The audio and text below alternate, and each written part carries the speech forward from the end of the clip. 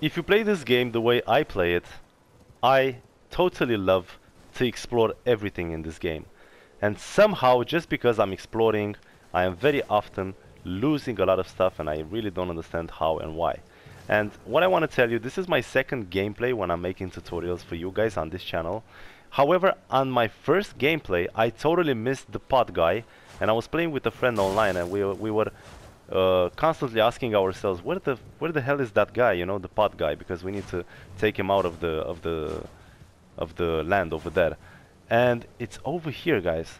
I actually found them right now but I totally missed it in the first gameplay. And to look on the map it's over here basically. You have the Murkwater coast. You have Agheel Lake North. This is totally hard to miss. Murkwater coast and then it's literally over here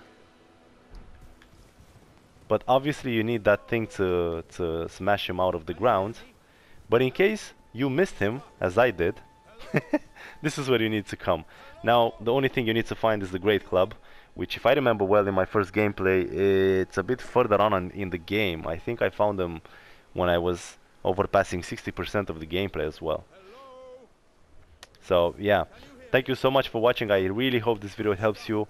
Uh, I think this NPC is important. I don't know why um, and uh, please please subscribe to the channel. Please like the video. It helps me a lot. And let's just connect furthermore. Let's uh, see each other in the commentary section below